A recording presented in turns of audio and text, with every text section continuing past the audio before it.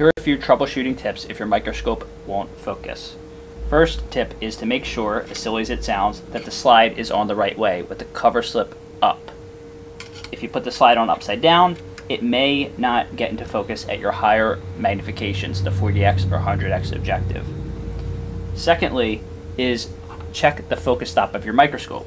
If your slide isn't coming up high enough, which is limited by the focus stop, you'll need to adjust and reset the stop. A good way to check for this is to look at your higher magnification objectives. With the 40x objective, the slide should get to the point where it's just touching the front lens. If it's stopping before that, it's likely your focus stop.